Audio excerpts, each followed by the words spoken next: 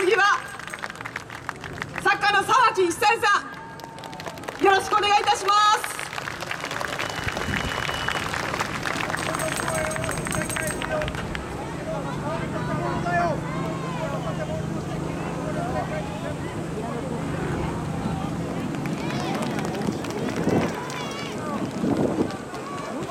こんにちは沢木久恵です。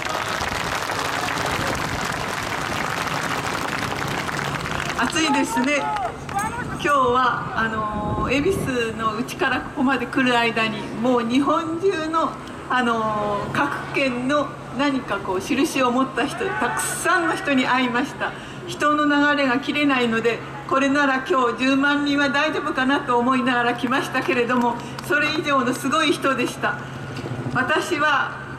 昨べから考えていて私自身の結論を簡単に申しますと第一に今私たちが一生懸命こういうことをやっているのは未来のためだと思います。未来というのは誰も掴んだ人はいないけれどもでも例えば生まれた今生まれた赤ちゃんしかしその子が大きくなって親になる時さらにその先に続いていく命があるわけですね。そういう確実に今生きてる人たちからつながっている未来がこれは地球規模で考えなければならないけれども絶対に核に汚染されて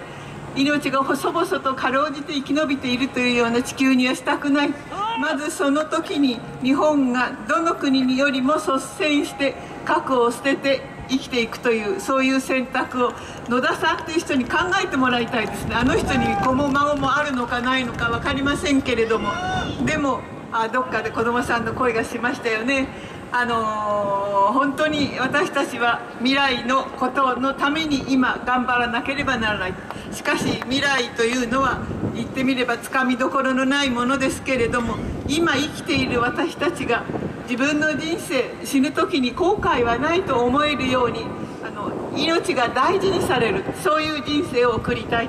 あの東京も食べるものは汚染されています。大人は覚悟して食べればいいけれども小さな子供たちそれから子供を産むお母さんたちはそれをどうやって避けるのか。もう道はないんですよね日本列島全部ね。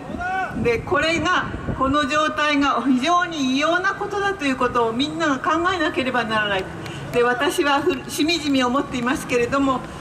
日本の政府は日本人からふるさとを奪ったと思います。福島の人たちはふるさとへ帰っていきたいけれども帰っていけないじゃありませんか。帰るということは核に汚染されることを文字通り意味している。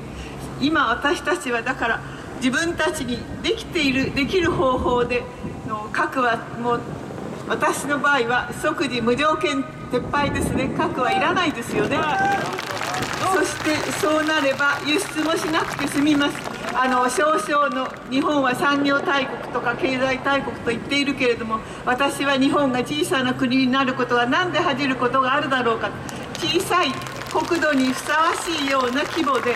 そしてみんながこの国に生まれて生きてよかったと思えるような国にしていく。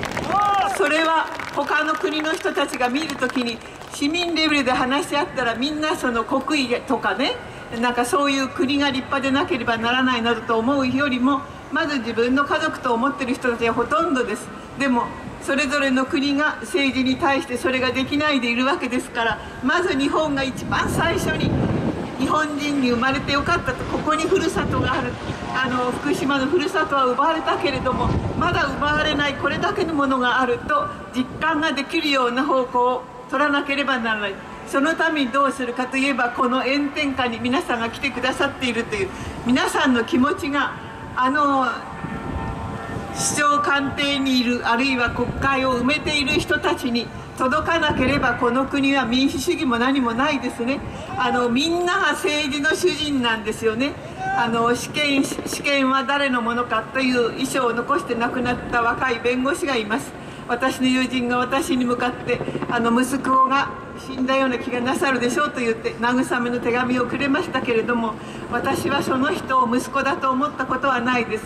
男女の性別を超えてそれから私は81だけれども81も10代も世代を超えてやっぱり今ちゃんと物事が分かるような人たちにみんながなっていく。一人一人がなっていく。そして私の意見はこうだということを言うのに何にもはばかるところはないですよね。怖がることはないと思います。そこで試されるならば試されてみようじゃありませんか。